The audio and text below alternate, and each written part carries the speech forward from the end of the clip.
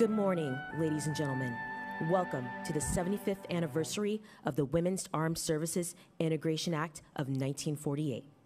Please stand for the arrival of the official party.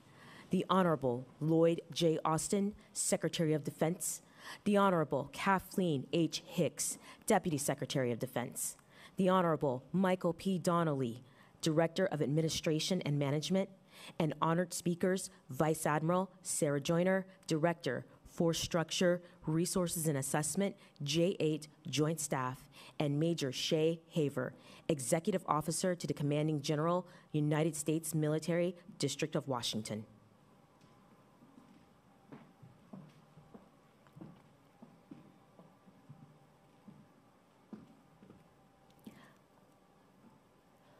Please remain standing for the presentation of colors, the singing of our national anthem, followed by the invocation.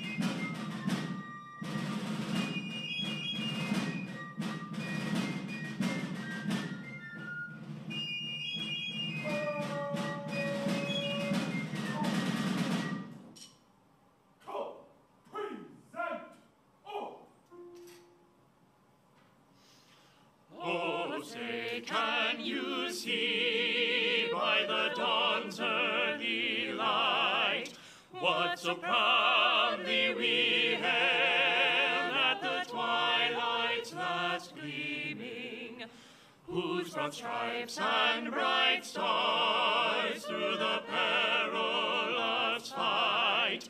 O'er the ramparts we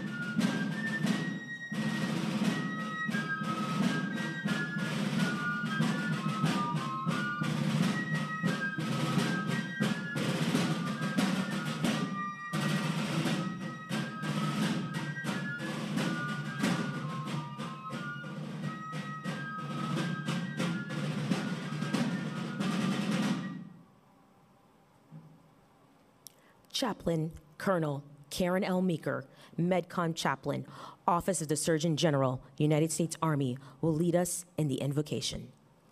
Please join me as I lift a prayer. Creator God, how much better is the U.S. Armed Forces with both halves of our population able to serve? For when you make a woman warrior, she is faithful and fearsome and forever resourceful. May the legions of ladies who have come before to protect the lamp of liberty without praise or pay, like Harriet Tubman, rest in peace in the glow of your glory. May those who now serve, 75 years later, wearing not only pants, but ranger tabs and so much more, May our service be strong and true, regardless of the obstacles that remain. Unite us in your kaleidoscope of creation, determined to give our lives to this noble enterprise called freedom. And in 75 years from now, may the world be more compassionate toward the disadvantaged, more determined against oppression, giving voice to the silent, full of sacrificial love to do justly, to extend mercy, and to walk humbly before you. I pray this to be so in your holy name. Amen. Be blessed, America.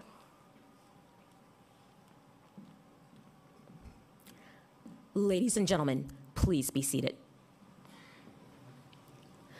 The Honorable Michael B. Donnelly, Director of Administration and Management.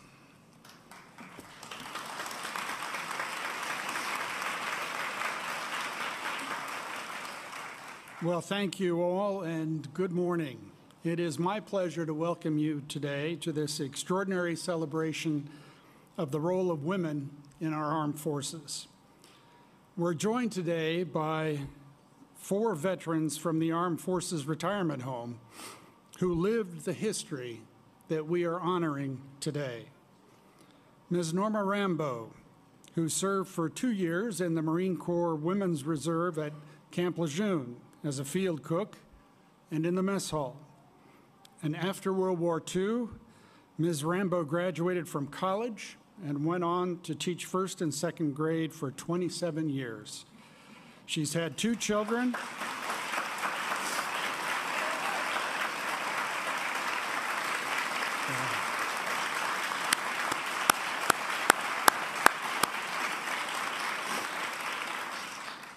She's had two children and lived most of her life in Michigan.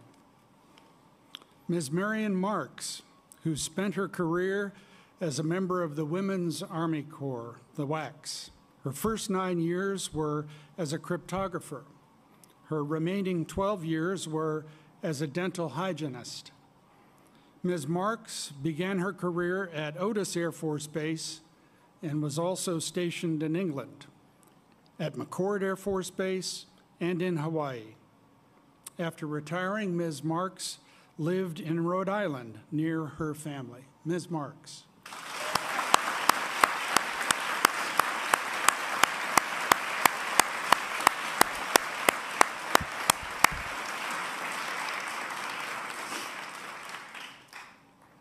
Ms. Corin Robinson served two years as a corpsman in the United States Naval Women's Reserve, the Waves. Upon leaving the Waves, Ms. Robinson married another Navy corpsman, and Ms. Robinson had three children and endured 19 moves with her husband's career, and they were married for 57 years. Ms. Marks.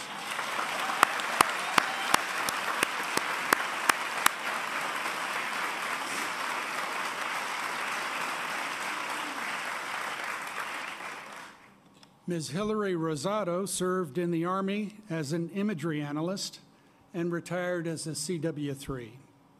She was born in New Jersey, grew up in Scotland, and enlisted at a U.S. Air Force base in England. Ms. Rosado raised two daughters and has two grandchildren. Ms. Rosado.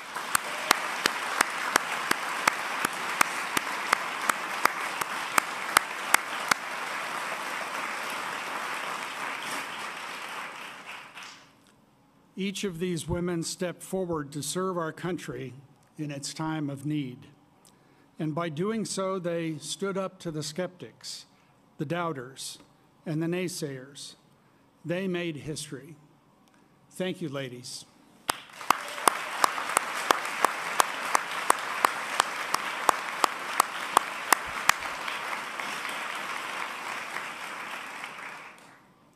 America's history is full of stories about the acts of heroism and the sacrifices of men who offered their lives in service to our country. But alongside those brave men were brave women who also risked everything for the cause of freedom. In the Revolutionary War, the Civil War, and in the First World War, women served But when the guns fell silent, women's service in wartime was all too often relegated back to the margins and written out of our nation's story. During the Second World War, approximately 350,000 women served in uniform overseas and at home as part of the greatest generation. After the war, American military leaders decided to write a new chapter. They realized that it would be impossible to secure the peace in a troubled world without the continued service of military women. And so in 1946, the Army requested that the Women's Army Corps be retained. After two years of debate on women's roles in the military, Congress agreed. And on June 12th, 75 years ago, President Harry Truman signed the Women's Armed Services Integration Act of 1948. Today, we therefore commemorate this legislation and the permanent integration of women into the armed forces. This law was not the last chapter, but the beginning of many firsts that have made our military stronger and pushed our nation to realize its highest ideals and fulfill its fullest potential.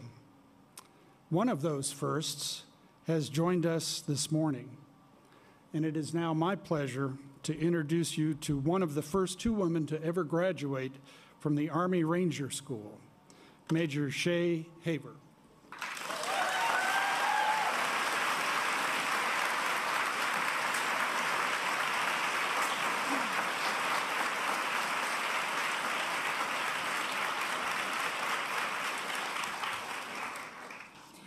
Good morning, Chairman, my Army leadership, Secretary Austin, and the Honorable Hicks. Thank you so much for joining us today for this celebration.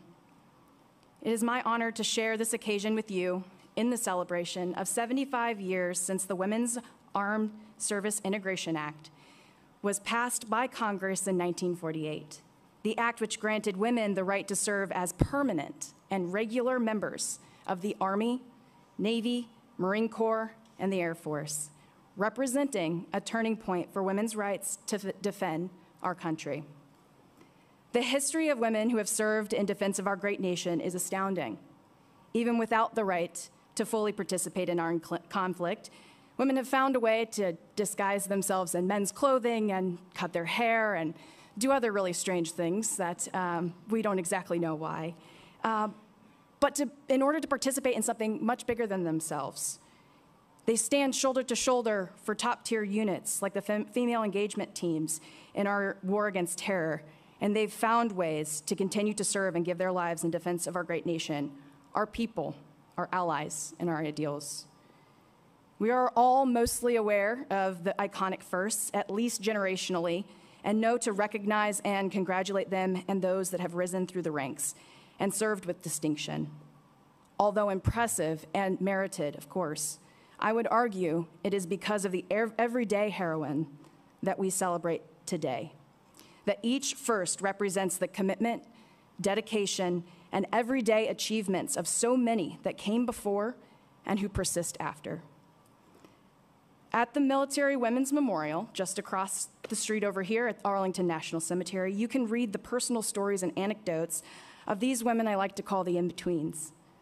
They're the common, everyday soldier, sailor, Marine, and female airmen that make up the firsts, and they make us possible by their presence and their persistence, showing up every day to do the work and demonstrating the love that they have for their country, their teammates, and their duty that has made all the difference for the military women of today. I was 11 years old when 9 11 occurred, and I watched as the military family member how our military changed, the community around us changed, and the nation changed in response to those horrific events. My dad served in the Army for 24 years, and my mom supported his career and dedicated herself to the military community as well, setting an incredible example for my two siblings and me, especially in support of Gold Star families and the service members that were affected by the ultimate sacrifice of our fallen comrades, in defense to our nation during the Iraq and Afghanistan wars. These were our neighbors, our friends, and the family that we chose. That environment left a lasting impression on me about duty, honor, and the love of country. It lit a fire in my soul that I have continued with passion and perseverance to pursue throughout my lifetime and also my military career.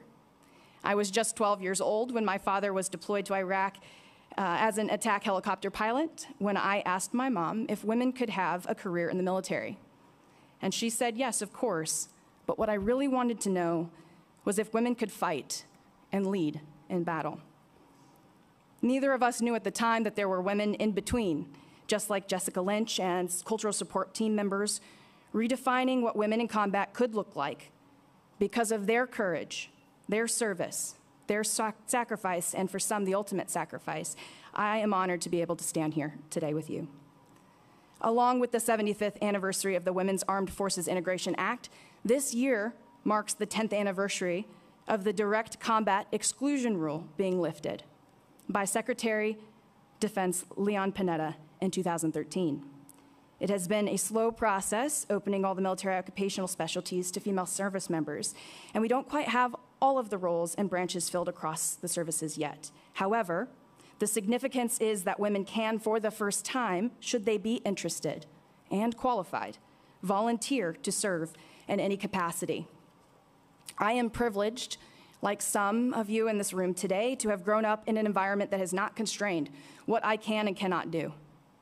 I joined the Army at 17, and as a United States Military Academy cadet, I knew from the moment I stepped foot on those grounds that I was exactly where I was meant to be. And I was reminded every day of what I could hope to become.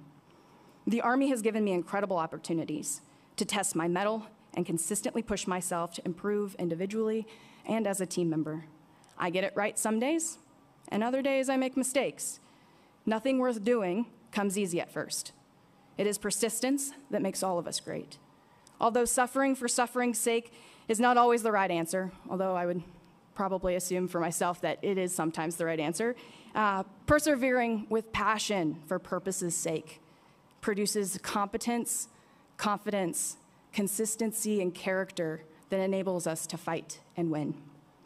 I am proud to lead and serve in a profession that not only holds itself accountable, but me accountable to be able to come, become all that I can be.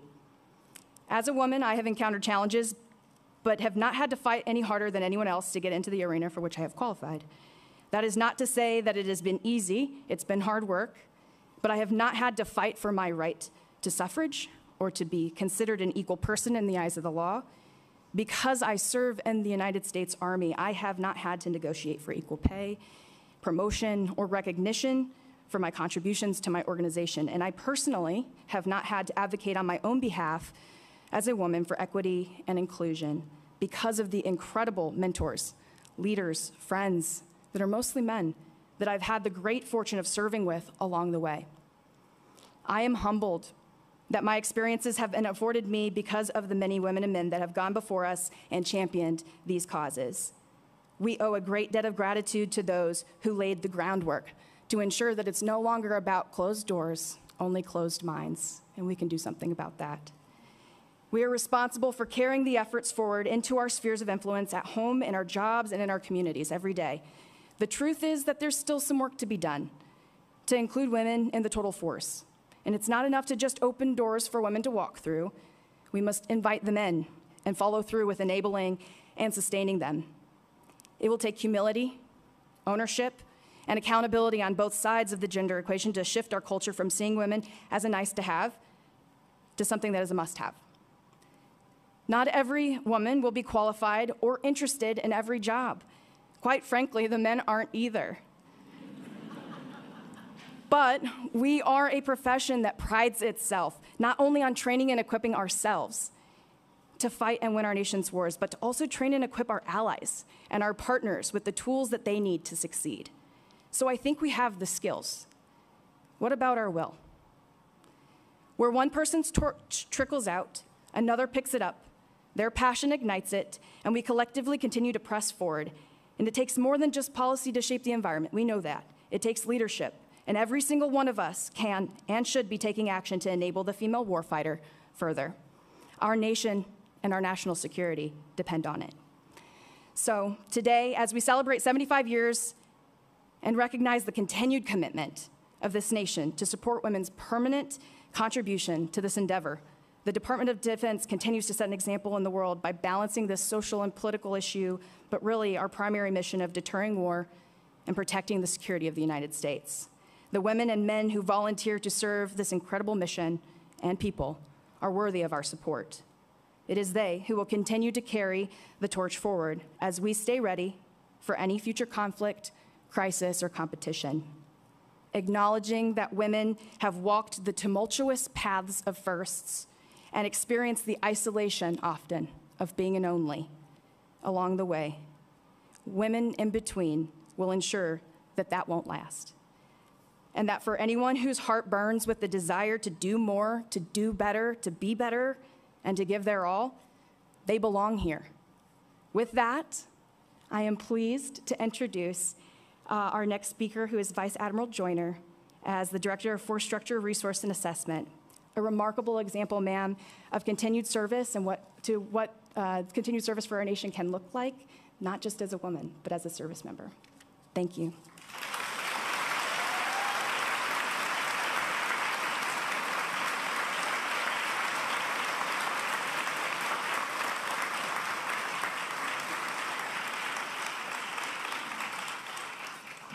Honored guests, I am so pleased to be here today. Sec- Mr. Secretary, secretaries, I see the Joint Chiefs, I see the men and women who serve in so many capacities. It's my honor, but mostly I stand on the shoulders of giants, one of which is only five feet tall, I've been led to believe. So I true am, am uh, shrinking as I go, but uh, certainly you are all are giants in my heart. And uh, I could not be here today without you being here and persevering through so many things. So thank you. Uh, every day I serve, I am so grateful to be here. It is the gratitude to be given the latitude to serve in every capacity. But I am going to take you back in time a little bit. I, I like sea stories, so we're going to do a few sea stories. And we're going to talk about what the path looked like, not to dwell on what didn't go so well in the beginning, but to show you where we are today and how fantastic things are and, and where we are and what we're able to do. When I entered the United States Naval Academy, the announcement had been made when I was 11 years old that I could go to the academy. And I turned to my father and I said, I'm going to go to the Naval Academy. He had two older sons. He said, he started laughing, and that was it. I was in. I was going to go. Best way, if, I think this should be our recruiting challenge, is just tell people they can't do it and they're going to show up. Um, but uh, in, in when I entered in 1985, women were constrained to about 10% of the brigade or less. Uh, we had been challenged, we couldn't graduate 100 women. Uh, my class started with 135, and I don't think we broke 100 uh, when we graduated. Um, but many at that time thought that women not only couldn't fight, but shouldn't fight as well. So it was a combination platter. And if you went to the Naval Academy during that time, you were a second class citizen because you could not serve in combat. Um, I went on a midshipman cruise and I met a female helicopter pilot. And be, to be honest, I had never thought about flying. She was a rock star. Her last name was Donovan. Um, so she's a part of a, a good group of a Navy family that exists today. When I met her, I figured out women could fly. Um, I could only do non combat roles, there were only limited squadrons I could go to. But someday I wanted to fly a jet off of an aircraft carrier. So that was where it started. When I completed flight training, I had a limited number of places I could serve, but I was able to, to pick jets. I flew A4s, went to the Philippines in 1991. And I served there as an aggressor pilot. I was one of two women in that squadron, with very limited uh, enlisted as well, two women pilots. Uh, it was very clear from the beginning that not being able to serve in combat was going to be difficult. Um, my male counterparts, that's what they valued. They understood they wanted to, uh, to do that, and they understood that's really what service was about for them at that time. So it, it was a difficult time in that squadron as we went forward, though there were always supporters who helped out. Um, but what happened in 2003 or 1993 was very remarkable, and it was the repeal of the combat exclusion law. And that changed everything. And that road, what, that was the segue in, uh, that came after our 75 years that we're celebrating today. And that allowed me to become an F 18 pilot and to serve more fully. And I was able to go, and I was behind my male counterparts. I'd been in two VC squadrons, so I went to sea for five years, and I served. During this time, I also married my husband, and we both deployed different directions because he was a naval aviator as well. And I knew I was in the spotlight because there were so few of us. I was one of two female pilots in that squadron who became one pilot uh, at the time. And I knew that every time I did something, people were watching. There weren't very many but persisted. And in 2007, coming forward, I became the CEO of a strike fighter squadron. Amazing. I was the CEO of the gunslingers. And with me in every place within the organization were women. I had a female master chief, I had a female ma- maintenance officer, I had female pilots, and I had female enlisted all through the ranks, female chiefs. And it was a completely different experience. Um, so when, while in command, I'll tell you a story of one night where I launched from the aircraft carrier. It was OIF, it was 2007, and it was a surge. And we were going to drive the bad guys out of Iraq. That was the idea. I went out, and what should have been sort of a quiet night, there wasn't a lot planned, but there was always something going on, became a kinetic night as one of the convoys that we were looking out for came under fire. They hit an IED, and uh, unfortunately, there were casualties.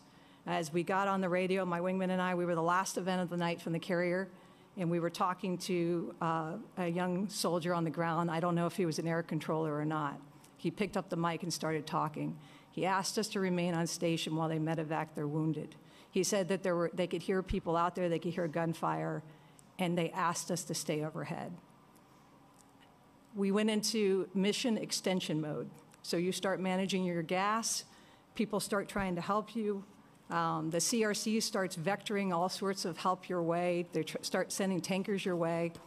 And some of those tankers, they had men's voices and some had women's voices. Those CRC operators, some were men and some were women, and it didn't matter. So as we uh, went, we were doing a daisy chain, we were going to the tanker, they were pushing gas to us, we stayed overhead. They were able to medevac out their wounded, and they were able to safely exfil out of the area and, and go back, and they, they were able to not come under any other fire or take any other casualties. My wingman and I, knowing that we were a couple hours past our recovery time, flew back as fast as we could, all the way in afterburner, and uh, came in and uh, landed and the entire flight deck was silent when we shut down because everybody else had returned hours beforehand. Got out of the jets, and everybody's like, well, Where have you been? And, uh, and we started telling the story, and you could just see the faces on the sailors as they realized that they were part of taking care of people. They were part of that mission, they were part of making sure that people on the ground stayed safe. They were part of the mission that was going on forward in, in Iraq at the time. And what I will tell you is it's a shared mission, it's a shared story. It was men and women, and nobody cared what your voice sounded like, what you looked like. All they wanted for you to do was to do your mission. So that's the story I'd like to bring forward today. That's where we are today. Nobody cares what you look like, just do the mission and do it well. So today I'm surrounded by men and women in uniform. They fill every role Army Ranger, here today to join us. Um, it's pretty amazing situation that we see is we're able to serve in every capacity. My husband and I both served. We served together, and he retired after 25 years of service. And we were able to balance out and have two wonderful children. He took care of my kids two different times while I was on deployment by himself, and I took care of the kids when he was on deployment. So and we both agree that it's easier to be the person who goes than the person who stays. That tells you something. So, um, my children know what it is to serve, and my daughter is, is serving. She's entering into service as well. So that's what you bring forward. You bring that love of service, that understanding that there's something greater than yourself. And there are men and women today that are serving with distinction, and I am so proud to be part of their ranks. So as I look at today, today is a celebration. It's a celebration of what you all made possible. It's a celebration of what continues today and what is continued to open doors for women throughout the world. I think we are an exemplar, and you made that possible. So as we talk about uh, great and uh, capable women, I have to turn, and I have the distinct pleasure to uh, introduce our Deputy Secretary of Defense.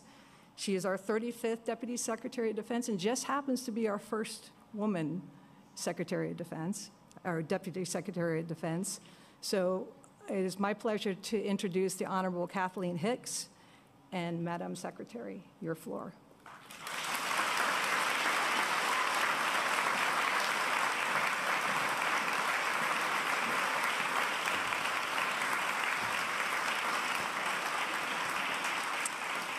Let me uh, thank Vice Admiral Joyner for the very kind introduction, and good morning, everyone. Secretary Austin, thank you in particular for the time that you're taking out of your busy schedule to join this important occasion. And I want to also acknowledge, as my colleagues have done, Ms. Rambo, Ms. Marks, Ms. Robinson, Ms. Rosato, welcome to the Pentagon, and thank you for your service. Let me also acknowledge Admiral Franchetti and the many service leadership uh, members that are here today, Secretary of the Army uh, Wormuth as well, and Congresswoman Nancy Mace. Thank you uh, for joining us. What an absolute pleasure it has been to listen to both Admiral Joyner and Major Haver. Um, your words are inspiring, your careers are inspiring.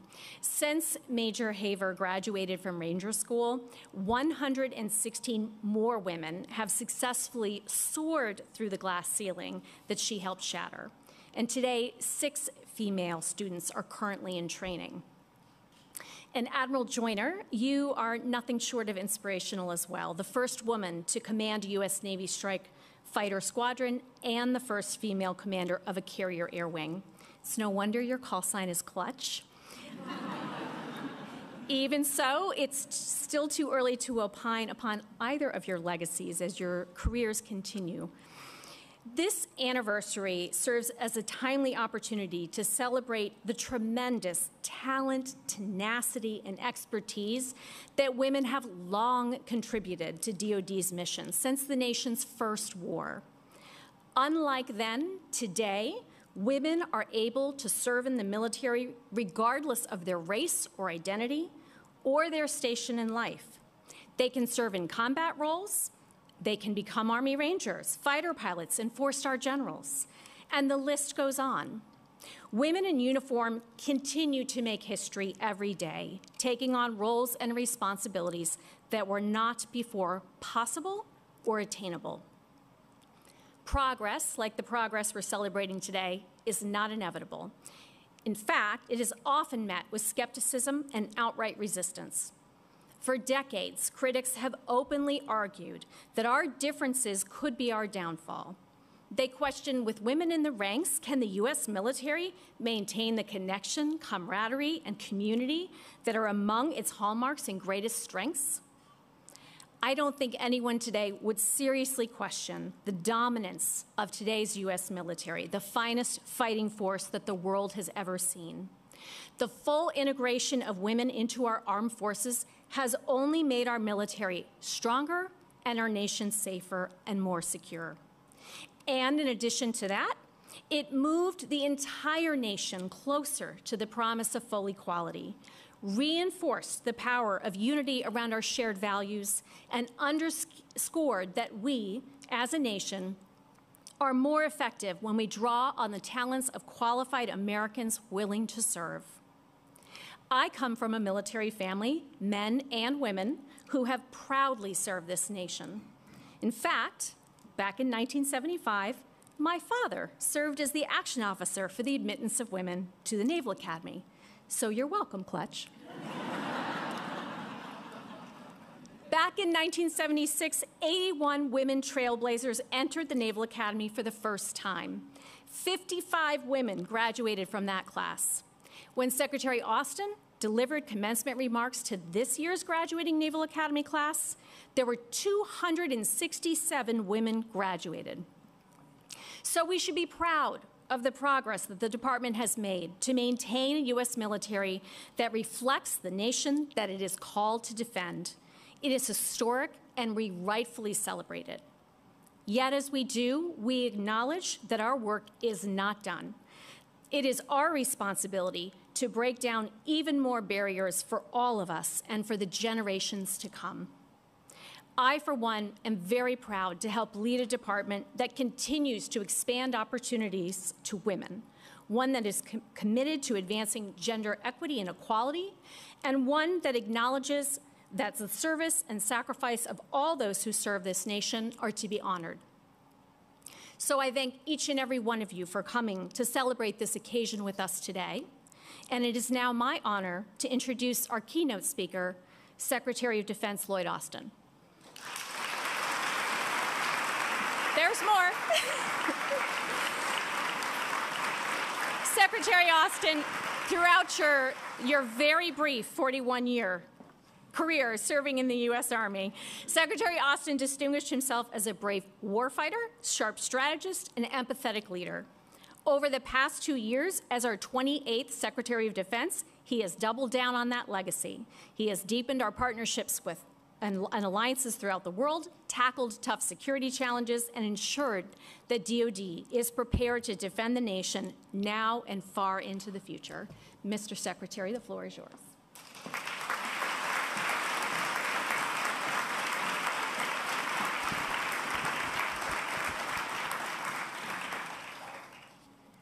Wow. Well, good morning. Let's, let's hear it again for our outstanding Deputy Secretary.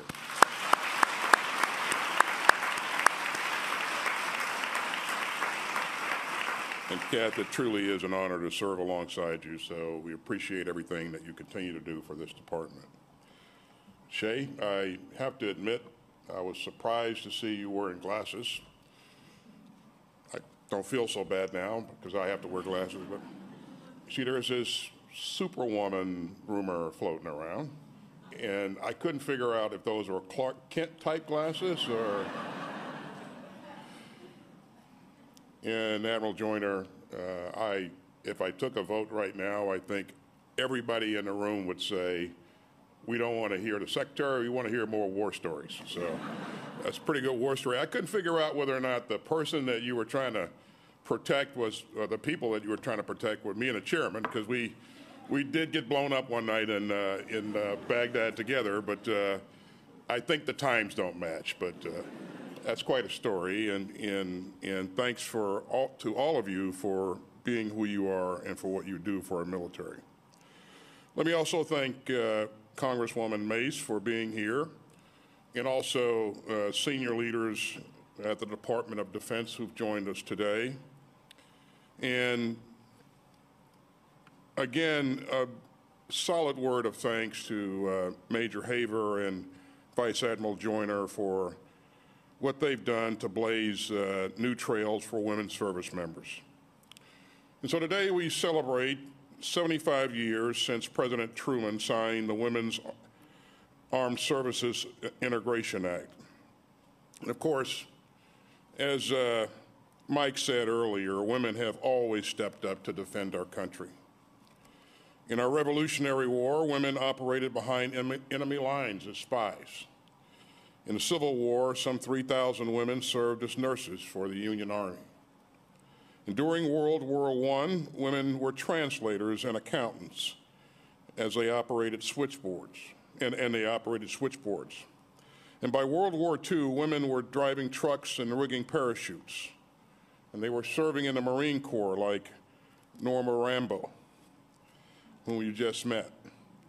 And women began cracking code as cryptographers like Marian Marquez, as you also met earlier.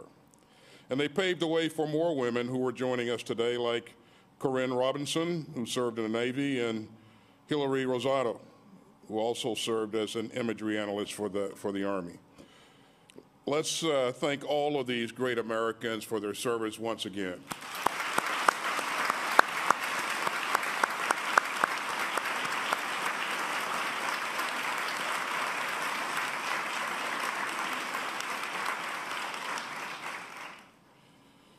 and I have it on good accord uh, uh, that uh, you are going to reach uh, the ripe age of uh, the young age of 100 here in September, uh, Ms. Rambo, is that, do I have that correct?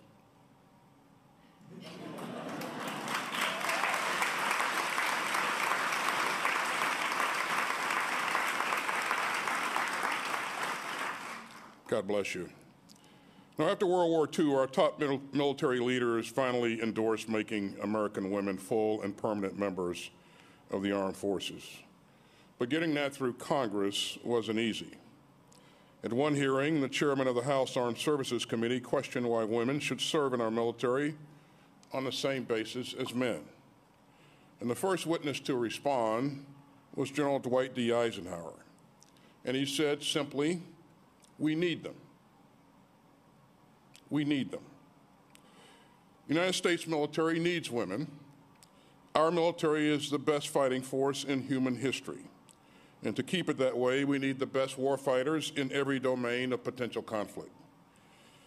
And the only way to make that happen is by drawing on the talents of all of our people, and not just men, who happen to represent less than half of the U.S. population.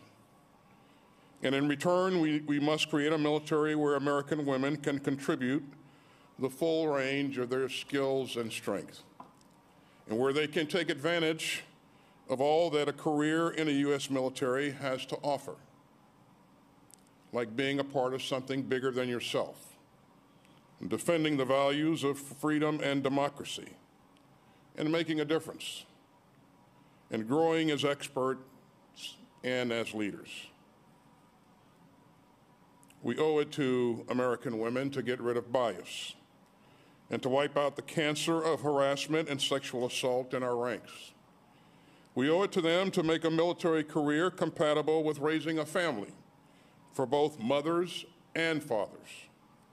And we owe it to them to break every barrier in the way of their service. This is a priority for the Department of Defense.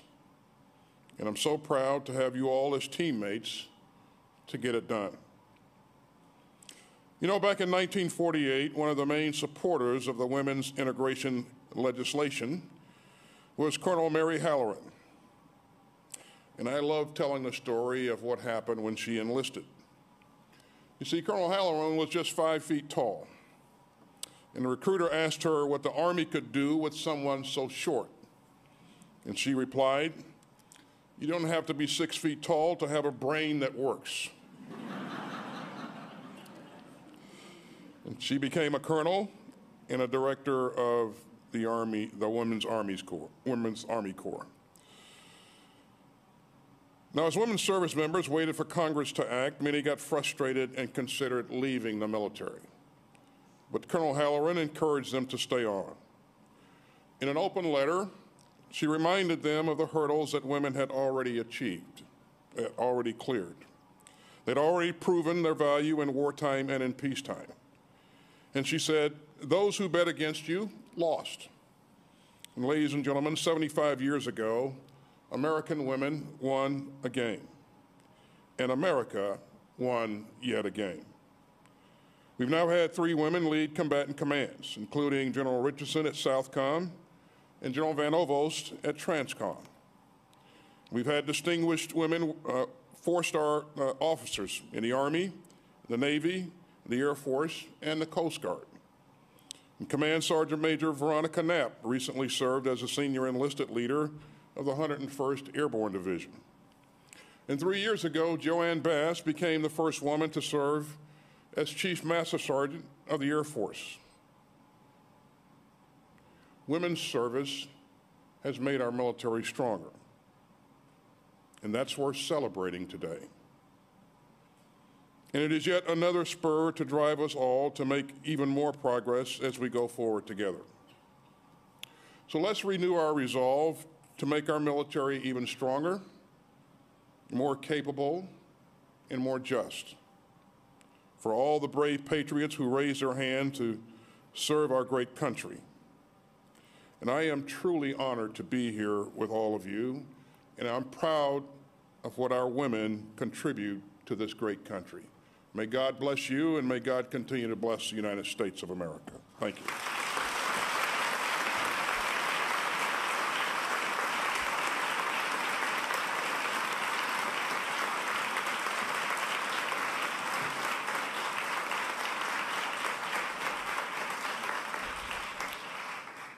Ladies and gentlemen, the Pershing's Own United States Army Band Vocal Ensemble will perform Making History.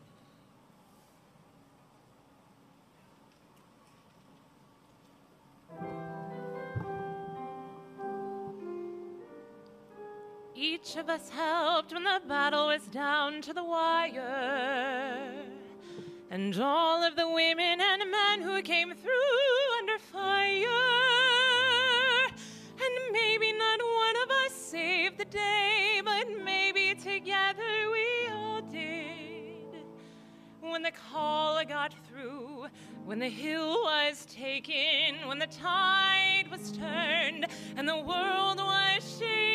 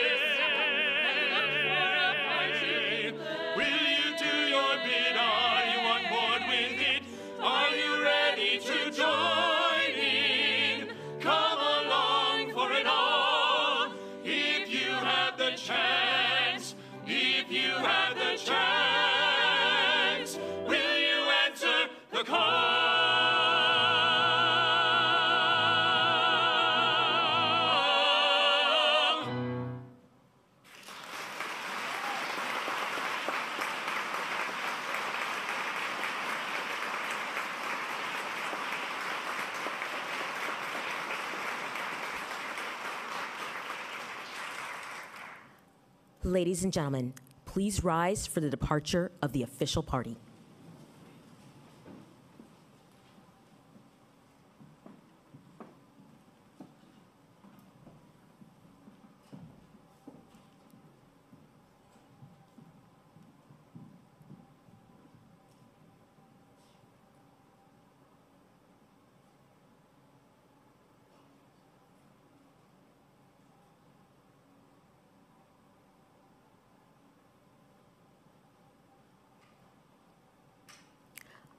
Ladies and gentlemen, this concludes today's ceremony. Thank you for joining us.